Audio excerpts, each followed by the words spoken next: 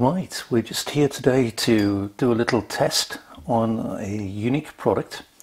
This product is Thermalcoat and what is unique about this product as you probably can see is it's the thin application. This is a product that is a thermal product called Thermalcoat and conventionally thermal products have to be thick uh, for their thermal quality.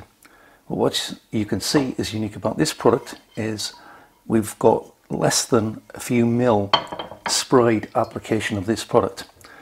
And what Thermalcoat is doing is making a huge paradigm shift in your thinking around uh, thermal products because now it doesn't have to be thick to be thermal.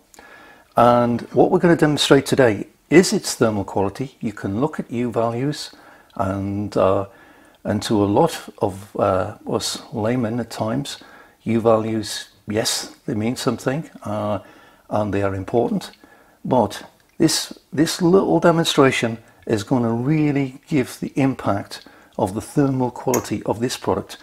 It's a very thin application and therefore it's very light application, no cavities required, sprayed onto any substrate from glass, perspex, polycarbonate, plastic, metal, walls, ceilings, floors. That's what's really great about the product as well. I'm not going to go into any details about the product specifications. I just want to show its applications and, and to demonstrate its extreme thermal qualities. So what we're going to do today is pretty unique. Uh, we're going to, first of all, you can see I'm in a domestic situation and I've got a naked flame there. So I'm going to put the frying pan on there. And what we've got here is a frying pan with one half sprayed and the other half not sprayed. And I've got some ice. I've got some oil. And the next surprise will come in a minute. So the first thing I want to do is let that frying pan heat up. And to demonstrate this, I'm going to put some ice on this side. Now as you probably gathered, I don't want to be touching that side, but the other quality about this product is it's a natural fire retardant.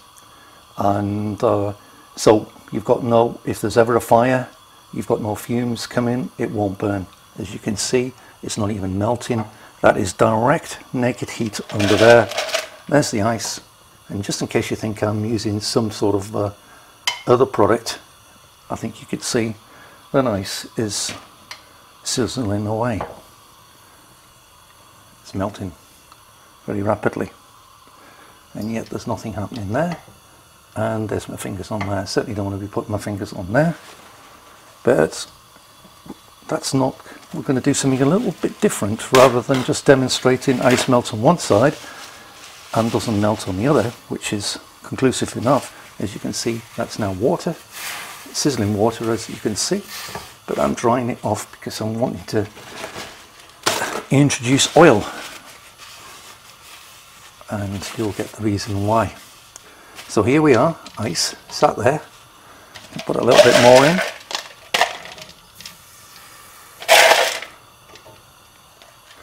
And the only reason why the ice is slightly melting is because the heat's coming across the pan, but there is no direct heat coming from there.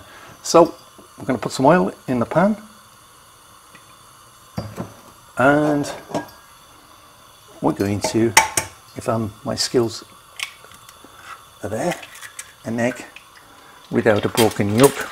And I think you can hear the sound effects